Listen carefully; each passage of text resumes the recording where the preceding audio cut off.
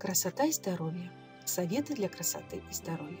Красота и здоровье всегда интересуют человека. Хочется оставаться дольше молодым и красивым. Вот несколько советов, которые помогут поддержать ваше здоровье и красоту. Первое. Каждое утро натощак съедайте одну столовую ложку льняного семени, тщательно разжевывая и запивая стаканом теплой воды. Через полчаса можно есть. Это замечательно очищает организм. Кожа станет более ровной и свежей. Будет наблюдаться небольшое, но здоровое похудение. Также семя льна укрепляет волосы и ногти. Второе. Ежедневно употребляйте в пищу салат из вареной свеклы. Свекла – уникальный очиститель крови.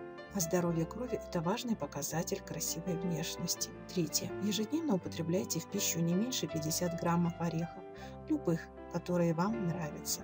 Волосы и ногти скажут вам огромное спасибо уже через две недели.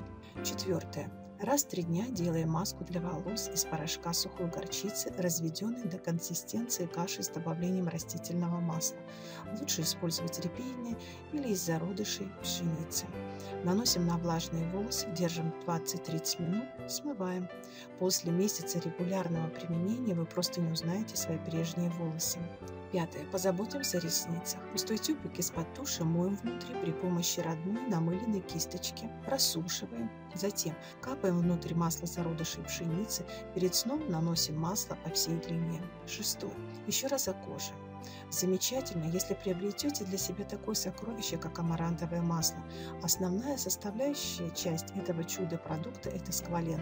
Масло впитывается практически на 100%. В борьбе с морщинами, шрамами, ожогами, растяжками и прочими кожными неприятностями вне всякой конкуренции. Пользоваться маслом амаранта нужно ежедневно, смазывая и тело, и лицо. Эти простые советы позволят вам сохранить красоту и здоровье.